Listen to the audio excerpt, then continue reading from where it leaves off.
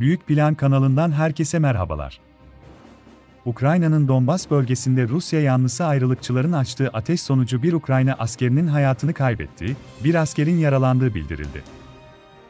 Bölgede askeri hareketlilik devam ederken Ukrayna ordusu bölgede tank talimi gerçekleştirdi.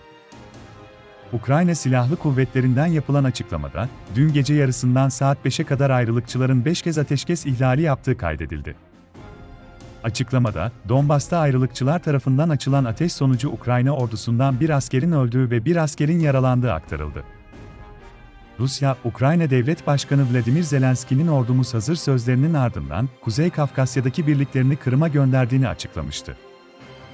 Ukrayna Genelkurmay Başkanı Ruslan Homçak, 30 Mart'ta mecliste yaptığı konuşmada, Rusya'nın tatbikat bahanesiyle Ukrayna sınırları yakınlarına asker sevkiyatı yaptığını belirtmişti.